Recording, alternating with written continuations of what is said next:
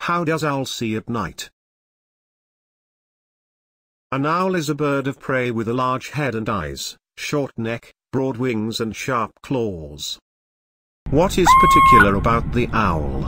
Owl can see more clearly at night than during the day. In fact, they come to life at night and are apt examples of nocturnal birds.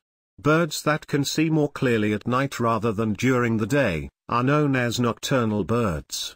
There are four factors due to which the owl can see clearly in darkness. 1.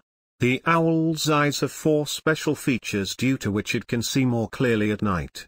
Firstly, the distance between the lens of its eye and the retina is more than the distance in the case of human eyes. Due to this reason, the image formed on the retina is bigger in size.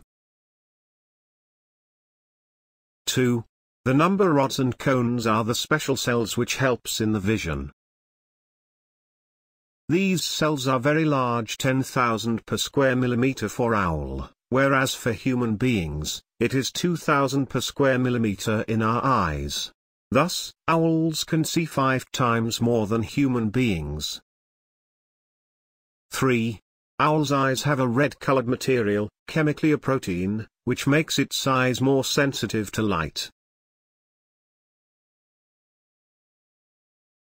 4.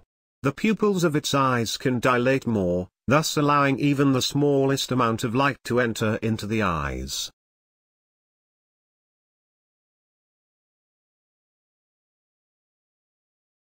Owl has extremely sensitive eyes to light, so objects appear too bright and they feel uncomfortable to the daylight.